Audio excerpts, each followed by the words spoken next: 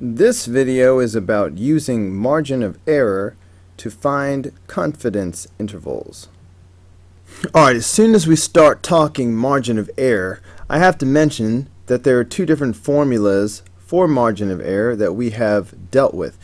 This is your general basic margin of error formula, 1 over the square root of the sample size. But sometimes we need a more powerful beefy margin of error formula. And it looks like this, z-score times the standard deviation divided by the square root of the sample size. This is the one that we're going to use when we need a specific level of confidence. Um, and it's the z-score that we use to determine what level of confidence we have. So if I want a 95%, if I want to be 95% sure that the true answer is in my interval, I'm going to use this z-score, and so on. So if they speak about confidence levels, um, you're going to use these z-scores, and um, we're going to use this formula. If confidence interval, if confidence level is not mentioned, then we're just going to use your basic margin of error formula. So looking at number four, you want to find the mean salary for NCAA Division I college football coaches. You obtain the salaries of a random sample of 100 coaches. The sample mean is 1,500,000 with a standard deviation of 200,000. Find the 95% confidence interval for the above data. Okay, okay, okay. Um, because they're mentioning uh, the confidence level, 95%, then we know, um, let me just delete this real quick. Um, we know that we're going to use this formula right here. Uh, and specifically, okay, since we're going to do the 95% confidence level, we're going to use a z-score of uh, 1.96. So here we go. You start by calculating the margin of error. Alright, so my margin of error is going to be that z-score, alright, 1.96 times the standard deviation, 200,000, over the square root of the sample size. Um,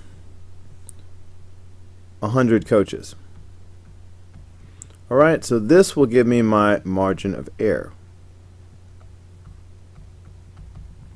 So let's put that in the calculator, shall we? I think I'll go ahead and show it just this once, but um, after this, I'll do it off camera. So we had 1.9, whoa, 1.96, alright, fraction mode, and we had 200,000 divided by the square root of 100, which is really just 10 in this case. But at any rate, kabam!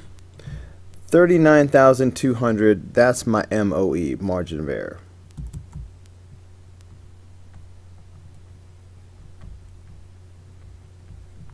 Okay, um, now I will take that margin of error and I will take the sample mean and um, I'm going to add and subtract my margin of error uh, to get my interval. So I'm going to be doing this type thing.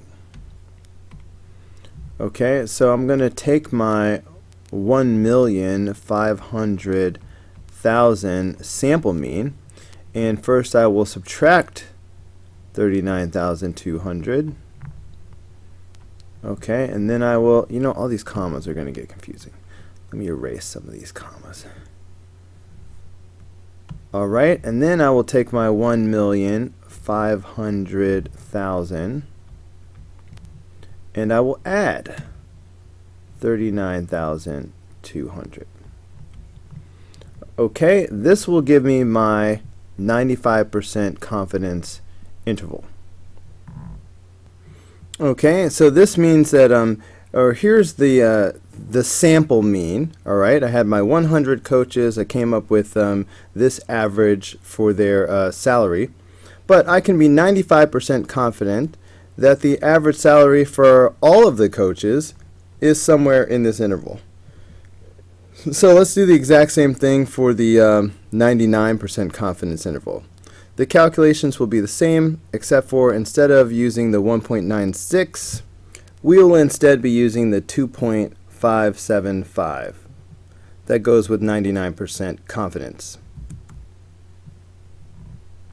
Alright, so there's the setup. Uh, just put that in your calculator. Alright, I'm getting 51,500 for my margin of error. Okay. Um, so, we're going to once again have to add and subtract this. Um, add and subtract this number to the sample mean. Subtract first, then add.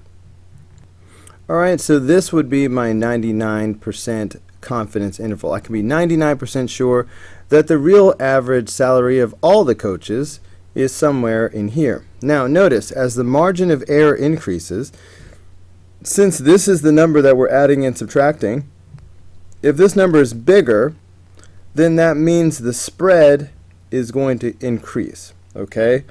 The bigger this margin of error is, the wider this net is. That's why we can be more confident that the real answer is going to be in there somewhere because it's a wider interval.